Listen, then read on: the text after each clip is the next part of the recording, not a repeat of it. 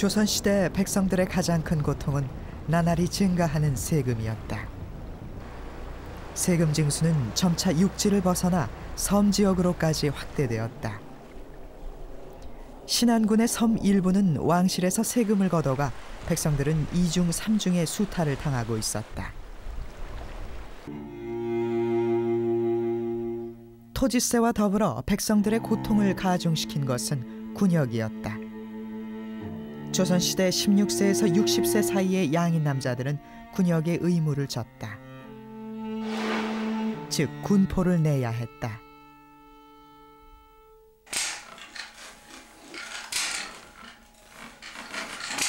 군포는 16개월에 두 필씩을 냈는데 양반들은 내지 않고 일반 백성들에게만 부과되었다.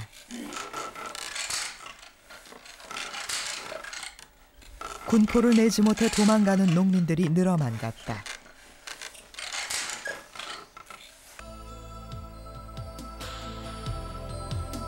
군포의 폐단은 갈수록 더해갔는데 당사자를 대신해 친척이나 이웃에게 거두거나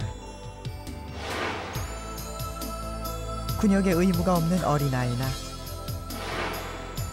죽은 사람에게도 군포를 받았다. 백성들은 부과되는 군포를 내지 못하면 다른 재산으로라도 그만큼의 몫을 빼앗겼다.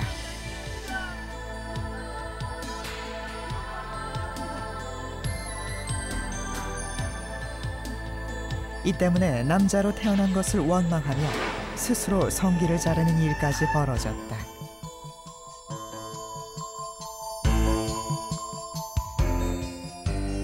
그러나 백성들이 아무리 억울한 일을 당해도 수령이 처벌을 받는 일은 드물었다. 조선 초기부터 존재했던 부민 고소금지법 때문이었다. 법에 따르면 수령을 고소한 백성은 곤장 100대와 징역 3년에 처해졌다.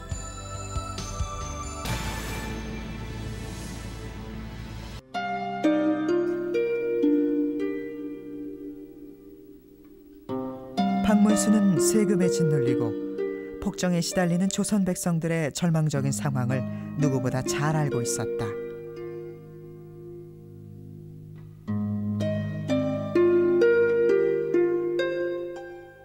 그리고 백성을 살리기 위해서는 먼저 군역의 문제를 해결해야 한다고 주장했다.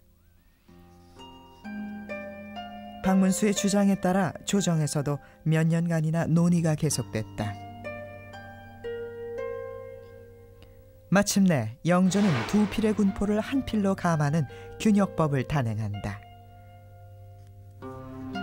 신이 양역의 혁파를 제안한 것은 전부를 줄이자고 한 것이지 한 필만 감하자는 것이 아니었으며 크게 변통하자는 것이었지 조금만 바꾸고자 한 것은 아닙니다, 전하.